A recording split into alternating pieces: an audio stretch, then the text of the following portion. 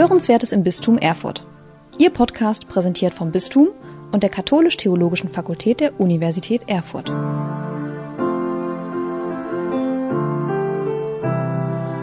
Liebe Hörerinnen und Hörer unseres Podcasts Hörenswertes im Bistum Erfurt, seien Sie herzlich willkommen heute zu einer neuen Folge. Hier ist Matthias Hülfenhaus aus dem Podcast-Team und mir gegenüber sitzt die Katrin Brockmöller. Sie ist Direktorin des Bibelwerkes. Ja, hallo. Sehr herzlich willkommen. Danke sehr. Wir haben uns ja den Titel gewählt für unsere Folge. Wer liest denn noch die Bibel? Eine recht spitze Frage. Und da würde ich sagen, jemand, äh, wer Direktorin vom Bibelwerk ist, mit Sicherheit wohl, oder? ja, das ist mein, äh, mein Beruf und meine Leidenschaft gleichzeitig. Natürlich lese ich die Bibel.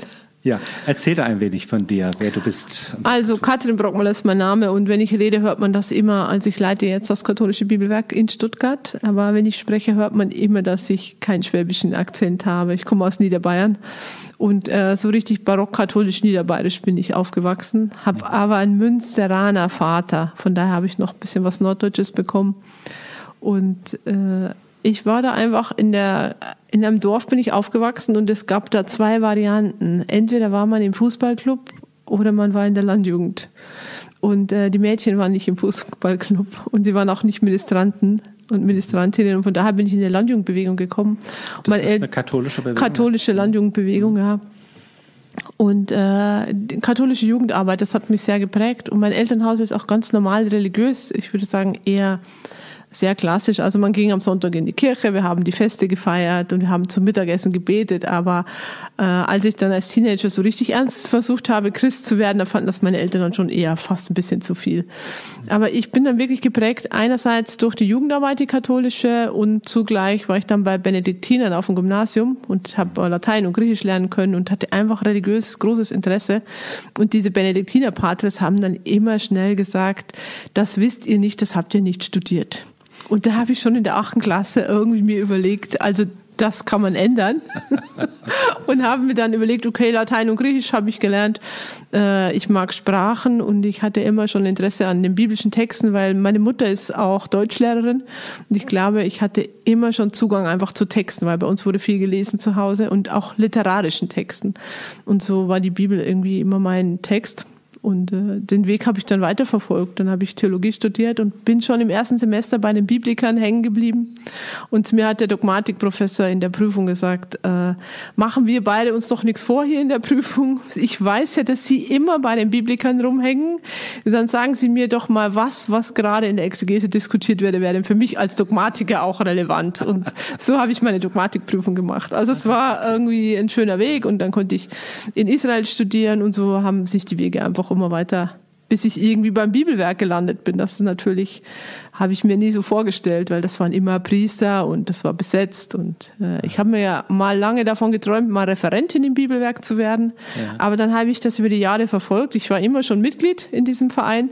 Habe ich gesehen, ja, wer da mal ist, der geht nicht weg. Und die schreiben auch irgendwie gar keine neuen Stellen aus. Scheinbar ist es ein guter Ort. Ja. Und als die Ausschreibung war, dass der Verein zum ersten Mal wirklich eine Direktorin selbst ausgewählt hat und gesucht hat, da habe ich mich gemeldet und bin glücklich, jetzt im neunten Jahr Direktorin sein zu dürfen. Ja, jetzt hast du vom Bibelwerk schon erzählt. Was hm. macht das denn? Also ah. das Bibelwerk. Was ist die Aufgabe? Seit wann gibt es das? Also das ist ein Verein und der Zweck des Vereins ist, allen Menschen die Bibel zu erschließen. Also hm. alle ist vielleicht ein bisschen viel, schaffen wir gar nicht. Wie, wie, wie lange gibt es den? Ja, der, der Verein ist gegründet 1933, damals unter dem Namen Bibelbewegung katholische Bibelbewegung ist natürlich auch aus der katholischen Aktion und aus diesem Bibelfrühling und irgendwie Bewegungen in der katholischen Kirche entstanden und gleichzeitig auch in Stuttgart entstanden, auch damit die katholische Kirche auch mehr Bibel unter die Leute bringt, war das in Stuttgart, äh, ist das gegründet worden. Und es war ein Caritas-Direktor, der hieß Straubinger. Und der hatte, wir würden heute sagen, ganz moderne Ideen. Der wollte nämlich, dass die Laien nach vorne kommen und gerade mit der Bibel nach vorne kommen. Mhm. Und in der Gründungsurkunde waren außer dem Caritas-Direktor, das waren Priester, lauter Laien. Auch Frauen waren dabei. Und man hat einen Verein gegründet mit dem Ziel, dass in der katholischen Pastoral mehr Bibel gelesen wird. Das habe ich so das Gefühl, seit der Gründung ist das irgendwie das Schlagwort, mehr Bibel und immer hat man das Gefühl, es ist zu wenig Bibel und äh, so ist der Verein gegründet worden und der besteht aus Mitgliedern Und wir sind natürlich auch im Raum der Kirche ein Verein von Gläubigen und bekommen Zuschüsse von der äh, Bischofskonferenz. Aber wir erwirtschaften ungefähr 70 Prozent von dem, äh, was wir im Jahr brauchen, selbst durch Mitgliedsbeiträge und durch Verkäufe. Also können Sie ja mal auf die Homepage schauen, bibelwerk.de Verein. Ja, das gut. sind ich wir. würde sagen, das nehmen wir in die Shownotes rein. Da kann, wer Interesse hat, da gleich jemand schauen. Ne? Sehr Mhm. gerne. Äh, das heißt jetzt durch Verkäufe, durch äh, Wirtschaft, was macht ihr denn heutzutage? Genau, was wir machen ist, also es gibt seit der Gründung eine Mitgliedszeitschrift, die heißt Bibel und Kirche. Das ist eine wissenschaftlich orientierte Zeitschrift zu biblischen, exegetischen Themen. Äh, Die ist auch ohne Bilder, also muss man wirklich lesen wollen. Und äh, in den 70ern hat man noch eine zweite Mitgliedszeitschrift gegründet, Bibel heute. Das ist mit vielen Bildern und etwas einfacher, zwar auf wissenschaftlichem Standard, aber es soll einfach spirituell, religiös interessierten Menschen Unterstützung geben. Das ist immer unser Ziel, Unterstützung geben.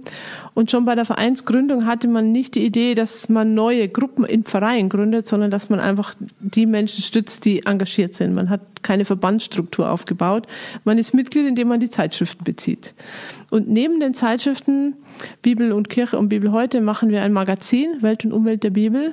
Das äh, hat man in den 90er Jahren angefangen.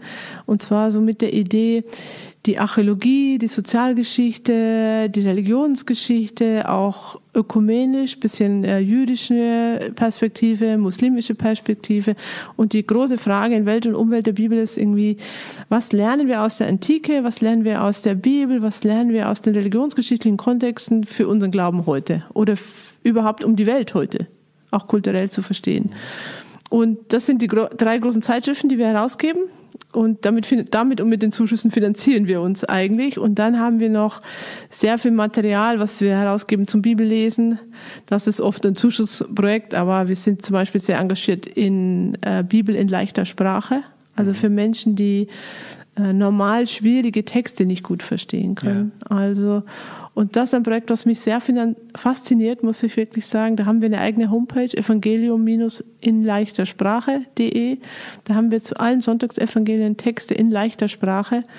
Und wir bekommen immer die Rückmeldung, dass natürlich zunächst die Zielgruppe Menschen sind, die keine hohe Kompetenz im Lesen haben, im Verstehen, also Behinderte, kognitiv Eingeschränkte.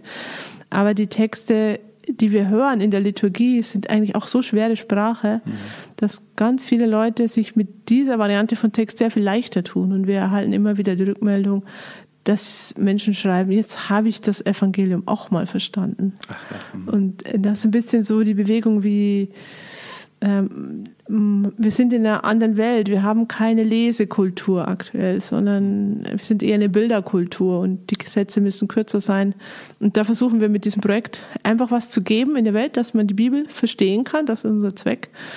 Und dann haben wir noch ein anderes großes Projekt. Ja, du? Äh, ähm, wenn du sagst, wir sind eine Bilderkultur, gibt es dann auch äh, Bilder, äh, Bibel-Cartoons oder so? Ja, also in leichter Sprache auf jeden Fall. Ja. Also wir haben, es gibt eine Gesellschaft für leichte Sprache, mhm. die geben ein Siegel oder sie geben es nicht. Mhm. Und zu leichter Sprache gehören immer Bilder. Mhm. Und äh, es gehört auch dazu ein sogenannter Prüfprozess. Das ist ein langer Weg. Also es machen verschiedene Gruppierungen arbeiten an den Texten und machen Texte nach den Regeln in leichter Sprache. Also da darf es keinen nur einen Nebensatz geben und gewisse Wörter äh, können nicht vorkommen, Fremdwörter und so weiter. Und dann muss es Bilder dazu geben und dann muss es sogenannte Prüflesegruppen geben. Da haben wir mehrere Behinderteneinrichtungen, die mit uns zusammenarbeiten. Und äh, die lesen die Texte und sagen uns ziemlich schnell, was sie verstehen und was sie nicht verstehen. Mhm. Und dann wird das nochmal theologisch geprüft und so gibt es einen langen Prozess, bis ein Text entsteht. Und dann kriegt man dieses Siegel dafür, wenn man äh, diese Wege geht. Und ich freue mich sehr, wir haben äh, von der großen Stiftung nochmal Gelder bekommen und sind jetzt gerade dran, habe ich eine junge Mitarbeiterin einstellen können, für alttestamentliche Texte auch zu übertragen in leichte Sprache. Also sicher nicht das ganze Alte Testament, das werden Auswahltexte. Ja. Aber das ist so, glaube ich, ganz am Kern unseres Auftrags, einfach die Bibel zu den Menschen zu bringen und sie zu erschließen. Und neben dieser leichten Sprache machen wir das natürlich auch in Vorträgen, in Seminaren, auf wissenschaftlichen Kongressen, in Bibeltagen und so weiter. Da sind wir überall engagiert. Und noch ein Modellprojekt, was wir haben, ist die sogenannte Lectio Divina, göttliche Lesung, wenn man es übersetzt.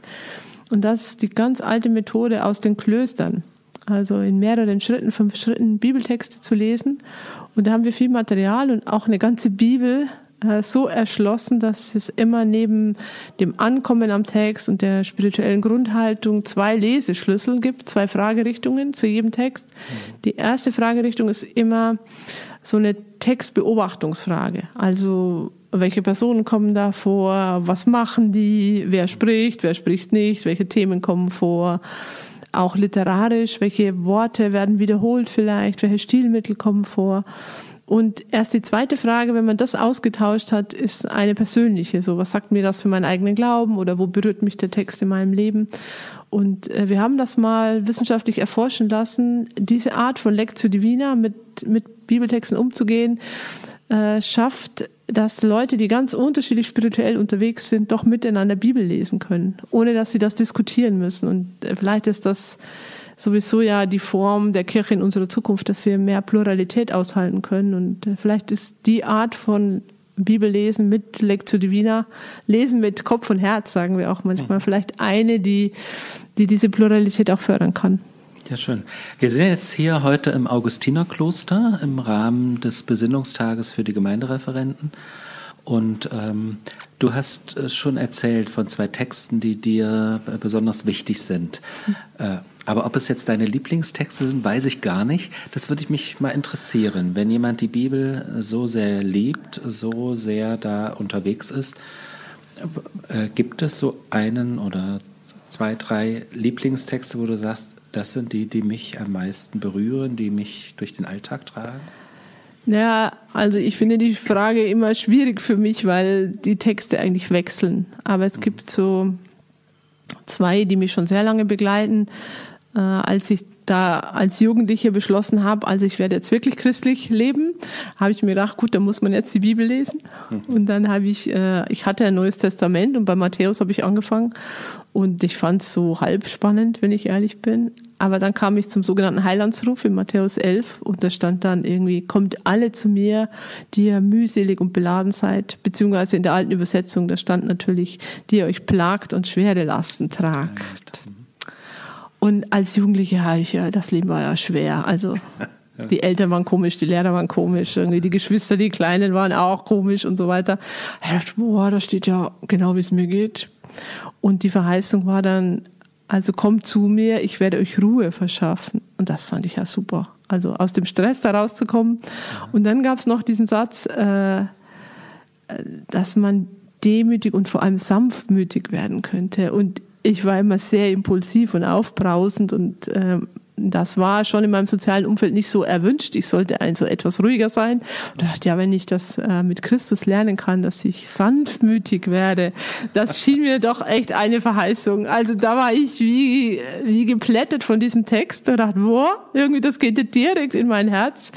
Und ähm, solche Erlebnisse habe ich immer wieder mit Texten und zwar manchmal einfach auf einer spirituellen Ebene, aber auch in der wissenschaftlichen Beschäftigung. Also ich kann mich auch noch sehr gut erinnern, als ich im Studium Hebräisch anfing zu lernen, haben wir einen alten Pater gehabt und der hat didaktisch vielleicht nicht so die beste Spur gehabt, denn der hat erstmal uns beigebracht, Genesis 1 vorzulesen.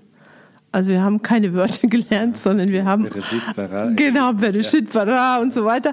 Und es war ihm vollkommen egal, ob wir das verstehen. Wir fanden das alles schräg, aber wir haben es halt mitgemacht. Und als wir dann zum ersten Mal so die ersten Verse gemeinsam lesen konnten, so dass sich das ungefähr so angehört hat, wie er es uns vorgelesen hat, und dann hat er uns beigebracht, das zu übersetzen. Und da habe ich so eine Ehrfurcht empfunden vor diesem, vor dieser alten Sprache und wie man über die Welt gedacht hat, das, das hat mich auch wirklich sehr tief berührt, dass man so eine alte Sprache eintauchen kann.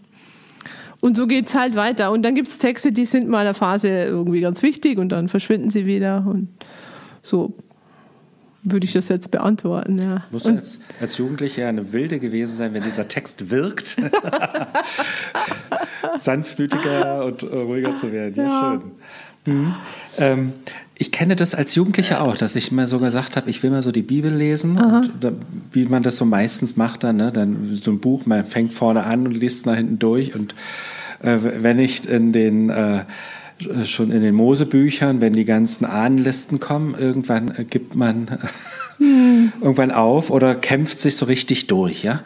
Ähm, deshalb würde mich interessieren, gibt es so einen Tipp von dir, was du sagen würdest, wer jetzt sagt, ja. ach, ich würde gerne mal bekommen so ein bisschen Lust, mal reinzulesen. Ja, also ich empfehlen? persönlich habe noch nie die ganze Bibel von Anfang bis Ende gelesen. Mhm. Also ich habe vermutlich alle Texte gelesen im Laufe meines Lebens, aber ich habe auch mehrmals schon Kurse begleitet, wo Leute ich kenne das, dass Menschen die Idee haben, sie müssen das einfach einmal alles gelesen haben. Ja, genau, ne? Also als, damit ich weiß, was da steht. Also, und da habe ich schon öfter Kurse begleitet, dass Leute gelesen haben, aber ich habe ehrlich gesagt geschummelt.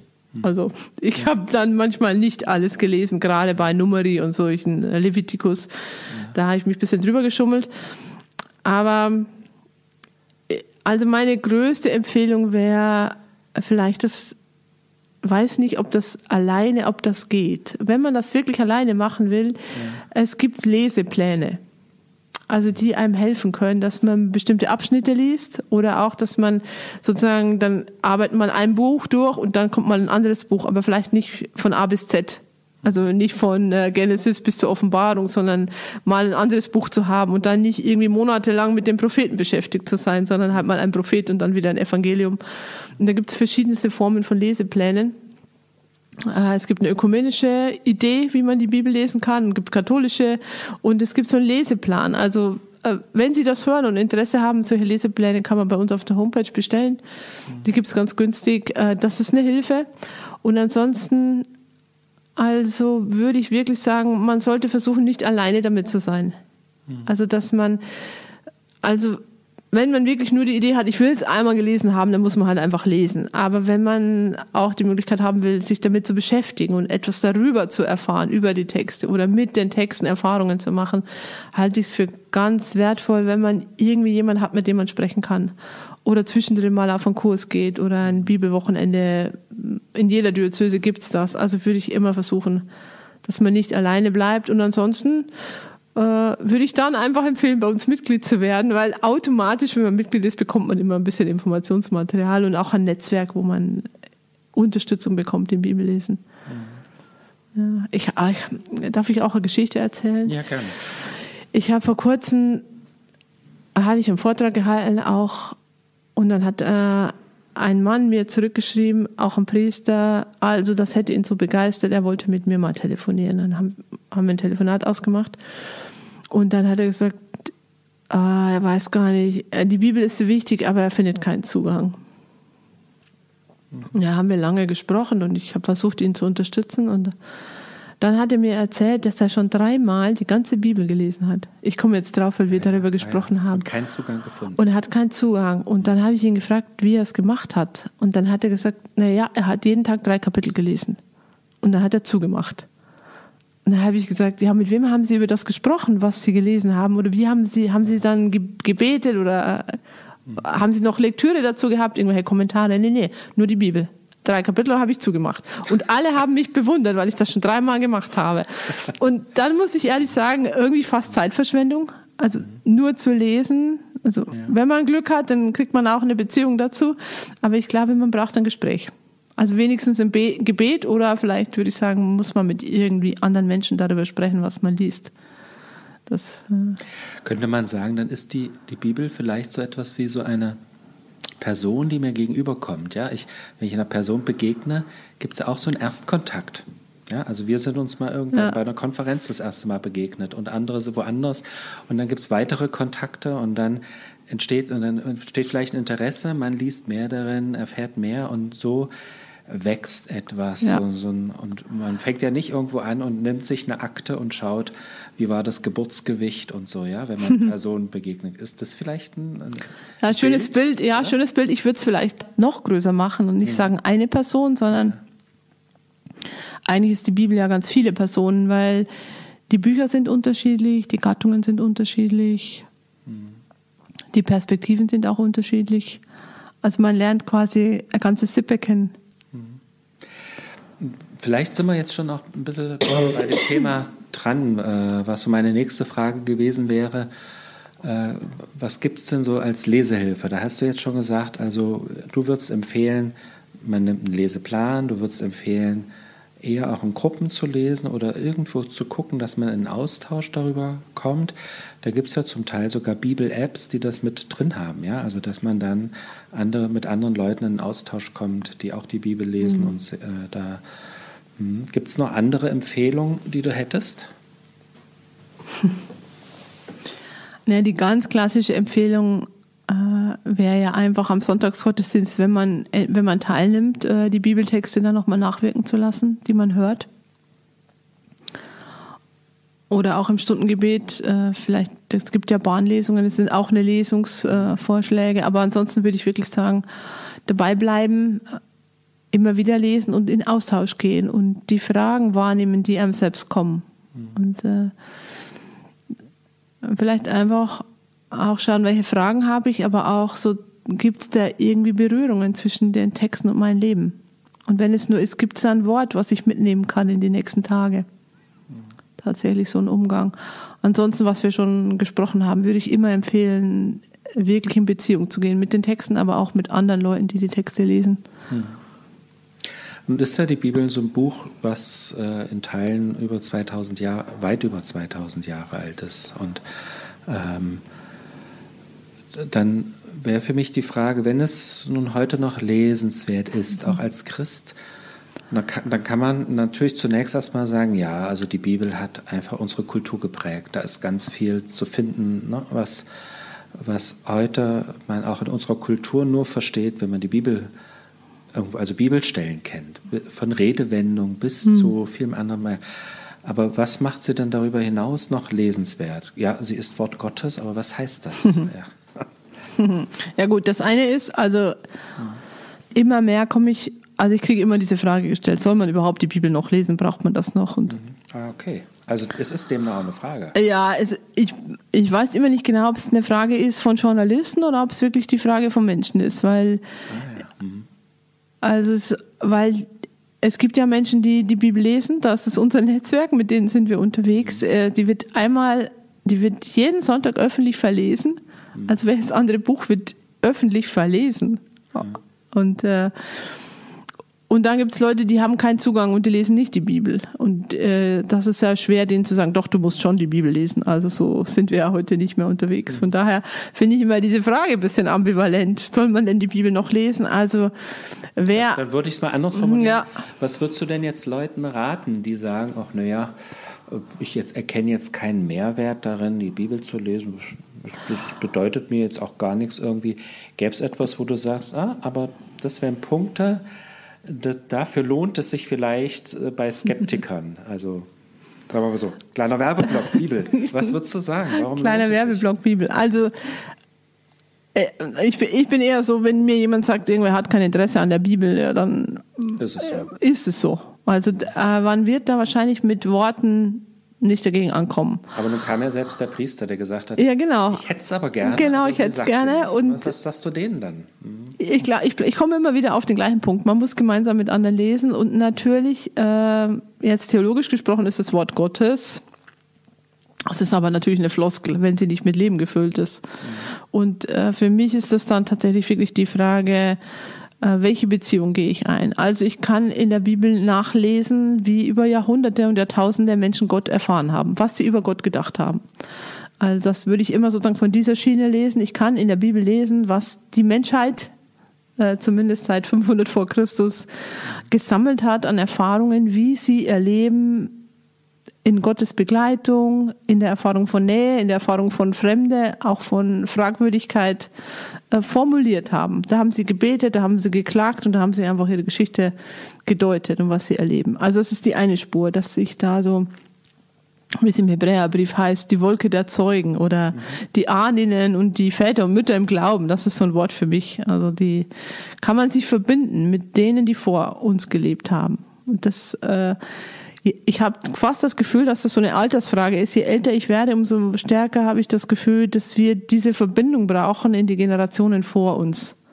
Und die können man natürlich sozusagen auch über biblische Texte irgendwie erfahren. Und die zweite Spur ist, wenn das ein Buch ist, von dem ich ausgehe, dass Gott mit mir spricht, wenn ich es lese, dann ist es eine bestimmte Erwartung, die ich habe. Und ich werde nur mit, über die biblischen Texte mit Gott in Kontakt kommen, wenn ich das auch zulasse. Oder wenn das eine Erwartung ist, die ich habe. Also, ähm, das heißt, ich kann so natürlich auch einfach kulturinteressiert lesen. Ich glaube schon, ja. Wie jedes Buch kann man das lesen, wie ein antikes Zeugnis. Aber wenn ich sozusagen heute lese und Fragen habe von meinem heutigen Leben und von meinem heutigen Glauben, dann kann ich die Fragen stellen und dann werde ich wahrscheinlich auch feststellen, nicht alle Antworten, die die Bibel gibt, sind Antworten, die im Jahr 2023 sinnvoll sind. Also diese kritische Distanz würde ich immer auch darauf achten. Klar, es ist ein Buch ja auch der Zeit immer. Ne? Mhm. Genau, das sagt ja auch die katholische Kirche, als das ist Gottes Wort im Menschenmund. Das haben wir seit dem Zweiten Vatikan im allerspätestens wirklich äh, im Konzil festgehalten. Das heißt, es ist immer historisch in einer bestimmten Situation gewachsen und ich werde das ja, ich, wir achten da im Bibelwerk sehr darauf, dass wir das immer beides im Blick haben. Äh, dass es einerseits sozusagen ein Text ist, mit dem ich wie jetzt auf Augenhöhe bin und in Kontakt gehe und in Beziehung bin und Erfahrungen machen kann, wenn ich äh, mich öffne für diese Erfahrungen oder mich selbst im Text entdecke, in Geschichten oder in Personen. Und dass es aber gleichzeitig ein historisches Dokument ist, was aus einer bestimmten Zeit kommt, die eben nicht die moderne Zeit ist. Mhm. Also man sieht es ja bei Fragen wie Homosexualität zum Beispiel. Das äh, in fundamentalistischen Kreisen wird dann argumentiert, aber ja, die sind verdammt. Ja. Und so kann man heute nicht mehr reden. Das haben wir Gott sei Dank jetzt im synodalen Weg auch einen Schritt nach vorne gebracht. Gäbe, gäbe es denn für dich, jetzt gab es einige Empfehlungen, ja, die, glaube ich, auch so ein bisschen Lust machen, so darauf, die Bibel zu lesen, auch Empfehlungen zu sagen, ja, vom Bibelwerk bieten wir da so einiges an, ja. Wenn jetzt so jemand sich sagt, ach, jetzt würde ich ja vielleicht doch mal in die Bibel reinschauen. Würde es heißen, äh, ich versuche das jetzt mal so für mich nachzuvollziehen, ja, ich suche mir, gucke jetzt, wo finde ich erstmal überhaupt eine Bibel? Habe ich eine? Gibt es eine Übersetzung, die du empfiehlst? Ja, also ich bin ein Fan von der Einheitsübersetzung, sage ich ganz ehrlich, weil sie so äh, einen mittleren Weg hat. Also erstens mal ist sie vertraut und es gibt bei den Bibelübersetzungen immer zwei grobe Richtungen. Die einen sind ganz wörtlich an hebräischen und griechischen Urtexten. Aber dann schwer zu lesen. Ne? Aber je näher sie am Text sind, umso schwerer sind sie, weil sie dann im Deutschen nicht flüssig sind. Und die andere Variante ist immer, dass man das möglichst nah an den an den modernen Kontext bringt. Also in Jugendsprache gibt es Varianten oder einfach moderner ausspricht. Und die Einheitsübersetzung hat so eine Mischung. Also es hat Wenn das jetzt Luther hört hier im Augustinerkloster, keine Werbung für die Luther-Übersetzung. Genau. Aber okay. Genau, also äh, Luther, also das ist sehr interessant, äh, dass sowohl die Einheitsübersetzung als auch die Luther-Übersetzung haben ja 2017, 16, 17 Revisionen erfahren und Beide Übersetzungen sind etwas sperriger geworden, wobei die Luther-Übersetzung noch stärker an, an den früheren Luthertext gegangen ist. Die hatten auch so, die kennen das schon besser mit Revisionen. Da gibt es schon mehrere Revisionen.